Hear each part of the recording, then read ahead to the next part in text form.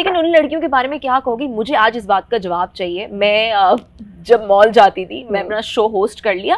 अब तीन चार बजे मैं कॉफ़ी पीने के लिए मॉल चली हम्म। गई।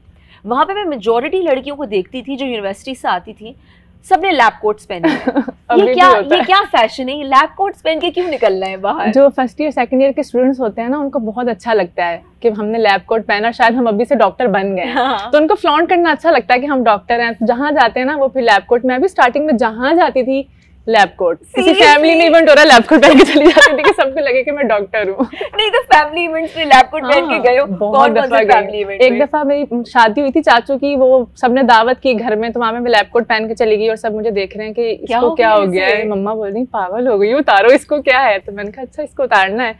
मतलब बहुत अच्छा लगता है। शुरू शुरू में तो बहुत क्रेज होता है कि हर जगह लैब कोट पहन